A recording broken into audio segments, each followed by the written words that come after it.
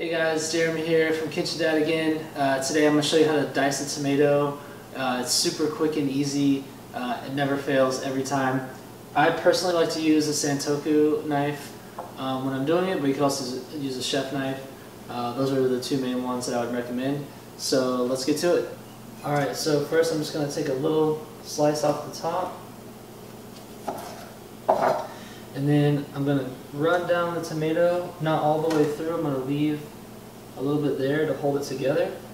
And you can determine how uh, big you want your slice or how small. Let me go one more time right here. Then you're going to go back through the other way again. Um, and it helps this knife a little bit dull, but to have a super sharp knife while you're doing this. So you're just going to go back the other way, and then we're going to turn it on its side and separate everything. And you can see how easy this just cubes right up. Um, again, if you have a knife that's a little sharper than mine, you might have some pieces left over like that. Just go ahead and take your knife to those.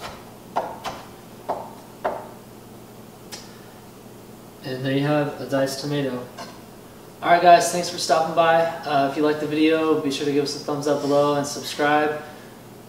As you can see, it's not too complicated to dice a tomato, so give that a try and let me know how it works for you in the comments below. See you next time.